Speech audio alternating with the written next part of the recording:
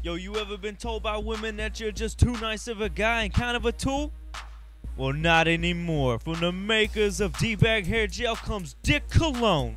Made from the sweat of the cast of Jersey Shore, you're sure to impress. Yo, women don't want to be with a nice guy. They want to be with a dick. Never again go through the embarrassment of rejection and never again have a door slammed in your face. One squirt of Dick Cologne will give you instant results. After that burning goes away, you'll become a dickier version of you. Look at that silver chain, son.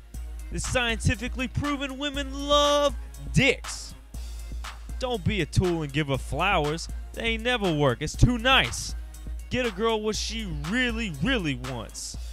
A titty punch! That works every time. Dick Cologne. Unleash the dick in you. Side effects include obsession with showing your abs, excessive tanning, addiction to creatine, and a general lack of socially acceptable behavior.